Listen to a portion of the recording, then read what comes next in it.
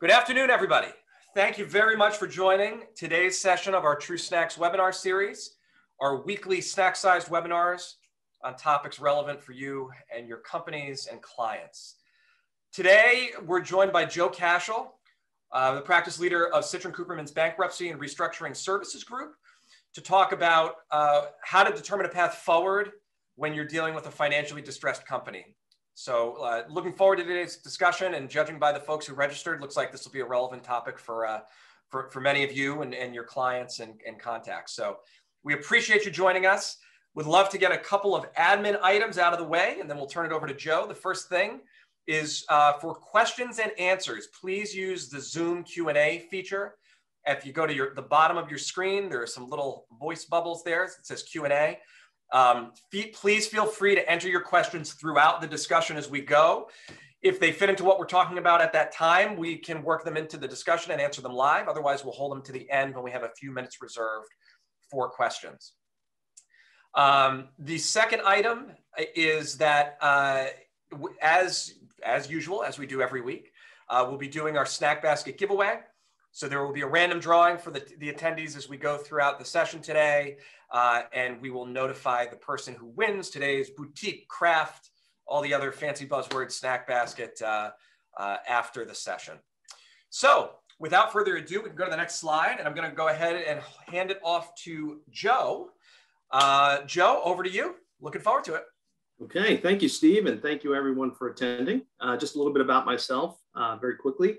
I've been in the restructuring arena for the last uh, 21 years, so always, you know, doing uh, restructuring and turnaround work, uh, both inside and outside of the bankruptcy process. I've assisted companies in turnaround and restructuring work. I've helped lenders to work out, you know, underperforming credits. Um, I've helped companies, you know, uh, prepare for the bankruptcy process as well as represented unsecured creditors and liquidation trusts in terms of maximizing value for all constituents. Uh, today, we just want to discuss um, you know, four major topics here. Uh, what indicators uh, of financial distress you should be looking for, right? Whether you're uh, part of a management team of a company that may be experiencing financial distress or an advisor to a financially distressed company, or perhaps you have some clients that are experiencing financial distress. Uh, these are, we're going to talk about the indicators that you should be looking for. Uh, and then once those indicators are identified, then how do you go about performing a strategic ass assessment, uh, identifying the right strategic options to effectuate a restructuring and turnaround plan, and um, you know how Citrin Cooperman can potentially help. Okay, first topic, indicators of distress um, there's certain questions that you really should be asking, right? Uh, so to the extent, you know, it isn't obvious, to the extent you have clients um, that may be experiencing distress, ask yourself these questions. You know, does the company have recurring operating losses? Is the company underperforming relative to their business plan, their forecasts and financial projection? You know, has the company, and this is a big one, cash flows, has the company been burning cash over a steady or sustained period of time? Uh, typically, you know, we look back 12, 18 months, but in this environment, you know, if I, I just think, you know, three to nine months, if you see any hint of a continual cash burn, it is time, you know, to start asking the other questions and look at your liquidity situation. Um, you know, and speaking of which, you know, is the company running out of availability, you know, under its revolving line of credit? Are they having uh, difficulty raising capital? Um, are they in breach of any of their debt covenants? Uh, the, are the lenders putting pressure on them as a result of that? Um, you know, has the company considered exiting, uh, you know, unprofitable businesses? Are they in process of doing it? Have they even identified whether there are unprofitable businesses to divest? Um, you know, what do the inventory levels look like, and what is the what are the components of the inventory? Is is a lot of it quick moving, or do we have some slow moving that's piling up that we need to you know, consider and in firming up our collateral base. And are you know, our, our customers stretching their payables, you know, essentially not paying us in a timely fashion or as they have in the ordinary course of business. And, um, you know, are we able to pay our debts as they come due? Okay, now, as I had indicated on the prior page, cash flow. Cash is king. Cash is the number one and most critical indicator of financial distress. and why you know most businesses fail. If you don't catch it in time, if you don't get your arms around liquidity issues and your cash, um, you know you're likely doomed to fail. Again, sustained operating underperformance, overinvesting, you know, poor financing decisions all factor into why your cash flows may be negative. Liquidity issues, right? Usually, you know, we get called in, uh, called in as restructuring professionals, you know, when there's a liquidity crisis, you know, when it's we're on the brink of, you know, uh, potentially missing payroll. It's we can, of course, we come in. That's what we're experts in doing, you know, addressing crisis situations and helping out. Um, but it's obviously a lot better to bring us in sooner, you know, when asking yourself those questions in terms of what are the indicators and how we can, you know, sort of head this off at the pass. Uh, secure lender issues, obviously, you know, if you get to the point where you can't make payroll, you can't, you know, pay your bills as they come due, the lenders are going to, you know, be on you about that. They're going to be requesting additional information. Going to trip covenants. You're going to have less liquidity because of the blocks and other, you know, uh, protections that the lenders have put in place. All puts, you know, pressure on the company and, you know, makes it even more difficult for, for them to go forward, um, you know, in achieving their strategic business plan initiatives. Um, so some more things to, to look at. Obviously, again, you know, you want to identify these a little bit earlier, but to the extent you haven't, still time to turn things around. Other indicators, you know, pretty obvious ones, right? Um, key personnel uh, and change in management, you know, exiting of the of the company, um, you know, shrinking margins, uh, accounting, obsolete, you know, IT systems, uh, things like that um, which are, again, more obvious that you should be looking for. And everyone will have a copy of this presentation after, so you'll be able to go back and, and take a, a look at this or have it for your reference. All right, performing a strategic assessment. So once these indicators, you know, have alerted you to the um, to the distress situation, um, you know, more often than not, you know, I see companies try to you know address these issues themselves, and yeah, there's a lot of capable management folks out there that can do it, and they do. Uh, but in other situations, you know, having a fresh perspective on things and bringing a third party in to really, you know, perform an in-depth analysis on, from both a quantitative and qualitative standpoint uh, can be very beneficial. That being said, you know, as part of our quantitative uh, strategic assessment, one thing that uh, a financial advisor can do is really, you know, perform a very in-depth analysis of the historical historical financial performance of the company, right? Look at the profits, look at the EBITDA. Why is this company underperforming and driving, you know, potentially negative cash flows? Um, take a look at the, at the business plan, really kick the tires on it, evaluate, right?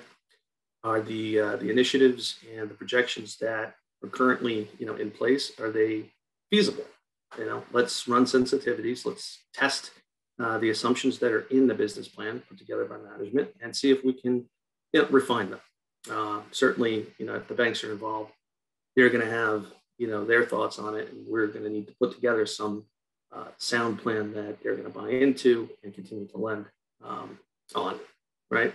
And usually, you know, having a, an advisor in there to assist in that preparation really goes a long way uh, to creating that credibility with the lenders. Um, evaluating the company's current business, right? Looking at various pricing agreements, um, amounts of products and whatnot, prospects for the future. You know, is there a pipeline? Uh, what does the future business look like? Considering those and building them into your business plan is very important. Uh, assessing the company's cost structure. Are costs continually increasing? Um, you know, in conjunction with flat or declining revenues, we need to look at that and consider that. Um, you know, looking at the client's asset base, and this goes back to what I said before in terms of inventory. You know, is it truly what it's represented to be? as part of the credit facility or the ABL loan? Um, is the inventory you know, really quick moving or is there a larger component of the slower moving obsolete type inventory? Uh, looking at the fixed assets, potentially going out and getting a third party uh, appraiser you know, to look at all uh, of your fixed assets and get proper valuations. Um, that's going to help in going into you know, any credit negotiations or when trying to you know, raise additional capital. These are the things that um, you know, those folks are going to want to know. And then once all of that's firmed up, you want to perform, you know, an overall valuation of a business. Um, again, that's going to go into the deck, you know, with the business plan, strategic initiatives, and whatnot to, you know, market uh, to both the lenders and potential equity investors. Qualitative, um, you know, essentially a SWOT analysis, right, would be one of the uh, first things that you would do. Look at the operational strengths and weaknesses, consider what they are, uh, assess the attractiveness and demand for the company's products and services. You know, is there a true demand? Um, and if there is, is it for all products and services or certain ones? Identify those. Um, what is our competitive advantage? You know, do we have a high demand, you know, technology or uh, process, you know, that really put, gives us an advantage over others? And if so, can we, you know, adjust pricing accordingly? Um, you know, consider each of the key relationships with our lenders to the extent that there are more, uh, considering potential alternative lenders and looking at all of our uh, customers and vendors. You know, um, that's something that we want to make sure our relationships are strong, and to the extent they're not, you know, make efforts towards uh, repairing and or uh, building upon those relationships. We need to look at our our footprint. Are we playing in the areas that we want to be? Um, obviously, certain areas may be more profitable than others. Considerations of whether to exit certain geographical reason, uh, regions, or you know extend our footprint in highly profitable geographic regions. Um, and then to the extent, you know, we're considering a sale, um, you know, look at the universe of, of, potential buyers. This is something we often do as part of a, you know, a bankruptcy process uh, when representing unsecured creditor committees. It's something that's done, you know, uh, by investment bankers or financial advisors in tandem with investment bankers and trying to, you know, market to various uh, financial and strategic buyers uh, before a bankruptcy process and, and sometimes you know consummating a sale through the bankruptcy process. I'll talk about that in a little bit. All right, strategic options for a restructuring. Okay, um, I'm going to talk about six different strategic options. One of which is a debt restructure, right?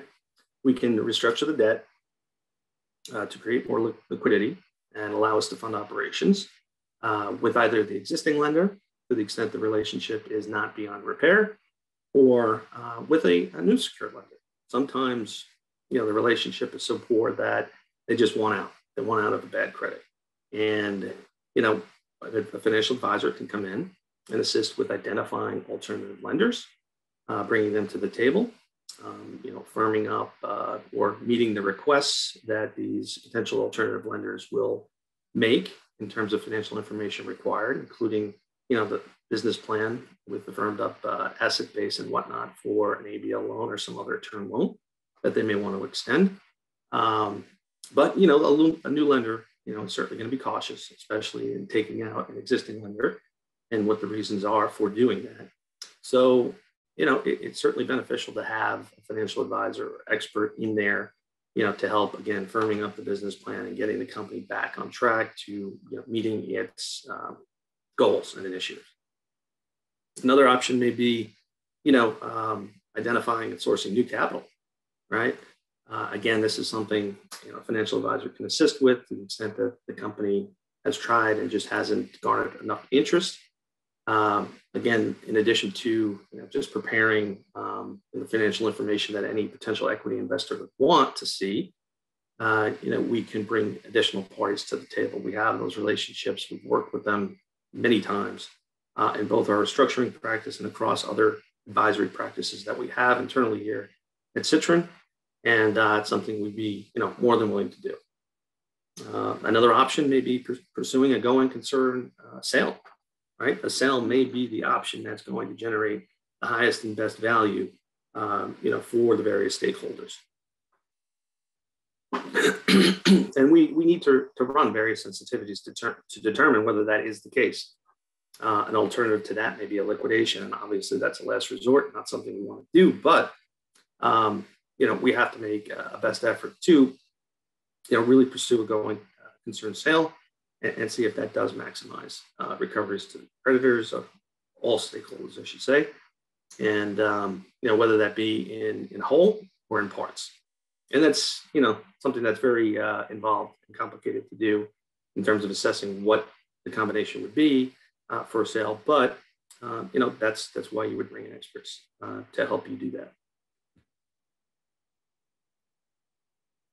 Oh, and, and knowing that you know that it's you're going to run your sensitivities. You're going to determine whether a sale or liquidation is more advantageous. But even though there may be a gap between you know what a higher and better value is, there are other considerations that need to be factored into the sensitivities that you run, uh, which include you know the cost of you know, running a sale process versus uh, a quick wind down or an early wind down or liquidation. Um, and there's execution risk. You know, do you have the proper team in place to do, you know, to conduct the sale? And what is the cost of that that team to put them in place? Okay, uh, this one's more of a, a combination, right? Combination of restructuring the debt and raising capital. And of course, you know, when bringing the parties to do that, you know, valuation is required, consideration of ownership, and you know what percentages are allocated is really going to be contingent on you know how the company is valued, and in order to do that, you know, advisors in there working with uh, the lenders as well as potential equity sponsors. Big team, very detailed process. A lot needs to be done to execute that, and I think you know um, it's an option, often a good option, uh, but very entailed and should you know involve experts. I'm sure you know the lenders uh, as well as any equity sponsor are going to have theirs, and um, you know in, in pulling all of those resources together, this may be a, good option if there is a viable business to go forward which more often than not, you know, if you get in there and address those indicators soon enough, there will be. Um, the fifth option, right? Filing for bankruptcy. Now everybody hears that and thinks, okay, it's all over. But that's not necessarily the case, right? A lot of times filing for bankruptcy is really just, you know, a way, a medium, a vehicle, um, you know, used to restructure a company or to get a sale done. It's actually pretty pretty advantageous if you can keep the cost down uh, in terms of you know, using it to consummate a sale because you can cleanse the company most of its liabilities, um, if not all, unsecured liabilities, and uh, undesirable you know components of the business, undesirable assets. Um, you know, and that gets left behind. You know, with the with the estate, those are monetized and distributed to the unsecured creditors, so they do get something, but you know, at the end of the day, the buyer, whether it be financial or strategic, is is getting, you know, the core assets, what it wants, the core business, without having to take on all of the additional stuff, the undesirable stuff. Um, you know, in other cases, it's just you know the business is too far gone, and you know, filing for bankruptcy and putting forth a plan of liquidation, um, you know, maybe an option, or it could be a straight reorganization. There's no sale whatsoever the assets. It's just in order for us to achieve, have the best uh, avenue for success, to achieve our turnaround initiatives and goals. Um, it just the protections you know, of the bankruptcy process, allowing a stay you know, from creditors and other constituents coming after them, um, just allows them a little breathing room and time, you know, to firm up the plan and, and put it in place and, and, implement and execute on it. So, not the worst thing in the world. Um, just maintaining costs and keeping them in line uh, is, is very important, very important consideration. And um, last but not least, of course, the liquidation, which I mentioned, not something um, you know you want to see. It's the last resort. We got to consider all these other options first, but nevertheless, you know, it still is um, something that maybe that will be considered by all professionals as uh, one of the strategic options. okay. Um, I've been peppering this in throughout the presentation, but you know, uh, here we are. You know, how can we help? How can Citrin help you to identify um, very strategic options through an initial assessment, um, and you know, ultimately help you identify what the right strategic option is uh, in order to restructure and turn around the business right? Um, one of the things I impress upon clients, and I will impress upon here uh, to the various uh, audience members, is you must act quickly. There is no time to waste. Time is precious, cash is king, and the more time that goes by, the more cash you may lose. all about cash conservation. Earlier distress is identified and refer back to those indicators. Um, most of you know what they are. Again, you'll have the presentation to refer to, but the earlier, the better, the greater the likelihood of achieving a successful turnaround is.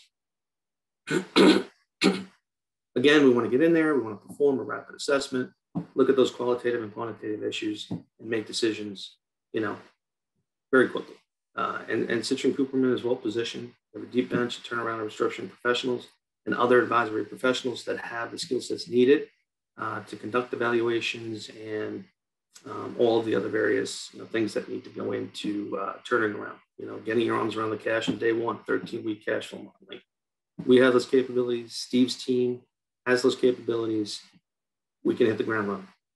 Um, and again, you know, what I said in terms of what we would do, this is liquidity management, operational improvement, turnaround restructuring, financial restructuring. This is everything I discussed throughout. Um, here's just a snapshot of the specific things that we would do in terms of you know, building fully integrated you know, financial models to help run those sensitivities for your business plan, for business plan purposes, uh, and in negotiating with the banks. Um, 13 week cash flow models to get your arms around the cash situation on day one. Um, operational improvement initiatives to scrub the operations in terms of trying to um, you know, stem the continual increase of operating uh, expenses, and other overhead costs, and um, you know, debt restructuring initiatives and capital rates. I think about 1225 now, so I do want to leave some time for questions. Um, hopefully I didn't run through that too quickly, but um, I don't know, Steve, if, if you've seen any questions come in, be more than happy to answer them. Yeah, that's great, Joe. Uh, no, thanks a lot. I think, you know, we often talk about kind of that circle of advisors when a client's going through, you know, either a, a period of really rapid growth or a period of turmoil, right? Um, when you think about the kind of circle of advisors that we generally recommend to our clients that are coming into this situation kind of fresh, what are some of those key people that uh, that we would introduce or that the client should be thinking through, um, uh, you know, getting in place to be able to advise them through this sort of process? No, it's a great question. Um, you know, I think we do have we do have key relationships or good relationships, especially you know ones that I've developed over the last 20 years, and everybody has their own relationships. So our seasoned professionals do have uh, relationships with various lenders. Again, you know, if you're looking to restructure the debt and, and do it through alternative lending sources, we can on day one provide you with a list of those. Um, especially you know after meeting with you, interviewing, uh, discussing you know what the specific needs of the company are. Maybe it's industry specific. Um, you know we can identify the right lenders there. Uh, we can identify the right uh, potential strategic and financial buyers. In a lot of cases, to supplement any process that you might have in place with uh, an investment banker. Uh, we can bring you know different uh, equity sponsors to the table. Um, you know at different levels. Those that are you know, willing to put in a little more because they have it. Um, and again, back to the lending, you know, those that are willing to take on more risk.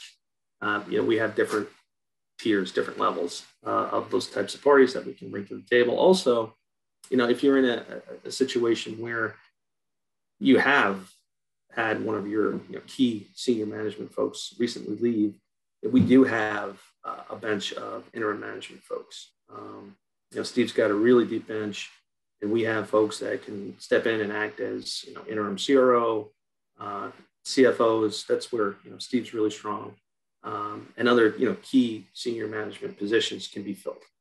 Um, so you know not only in there as the advisor helping um, interim management to the extent we can source that as well, but the current management. So you know we we have the relationships to help source um, these different needs and the professionals that would be brought in to you know, assist.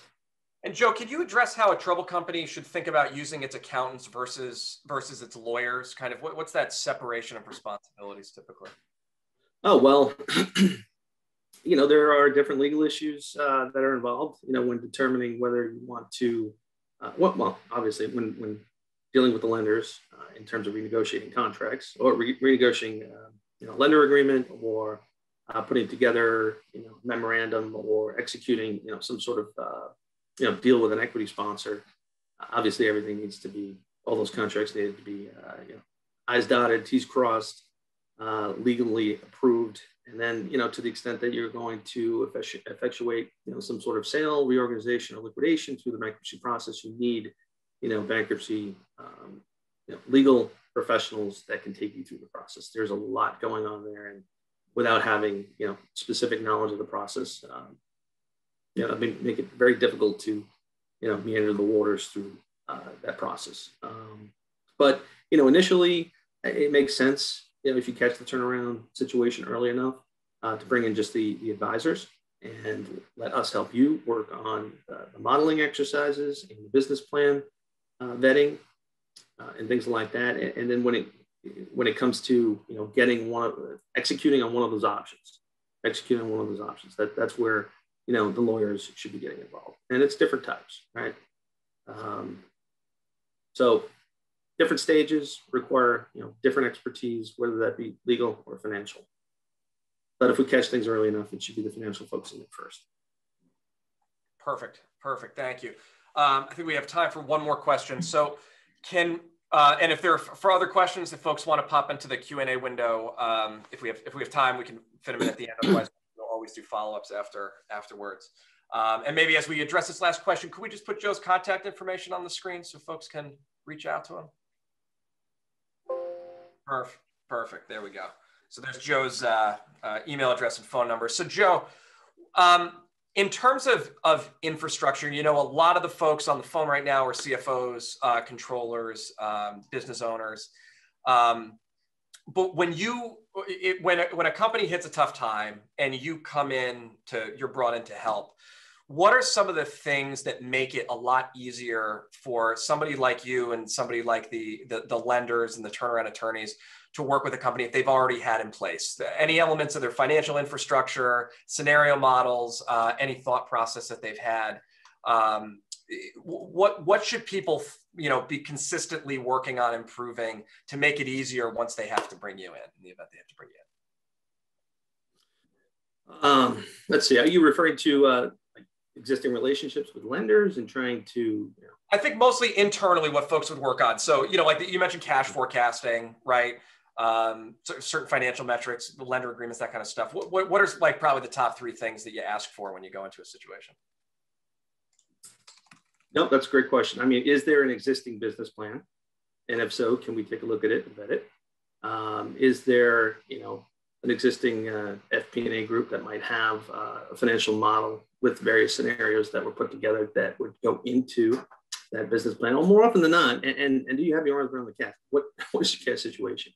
A lot of times we go in and we find that uh, companies, you know, and, and, it could be just be, the lack of sophistication may just be the result of you know, a company that has been growing so quickly and just didn't have that infrastructure in place and didn't have a chance to put it in place. So we can come in and say, all right, let, let's there are lender issues, perhaps, maybe perhaps there aren't, but you know, if we don't get our, our arms around the cash now, um, there may be issues, right? So we need to put together, you know, some sort of 13 week cash flow or maybe even an extended cash flow so that the CFO and the, uh, the head of finance and other, you know, financial people can use it to monitor you know, things on a daily, weekly, monthly basis, uh, depending on what the demands of the lender are. So you know, it's really 13 week cash flow models, uh, fully integrated financial projection models, uh, business plans, um, you know, strategic initiatives, all of those types of things we'd want to see whether they have existing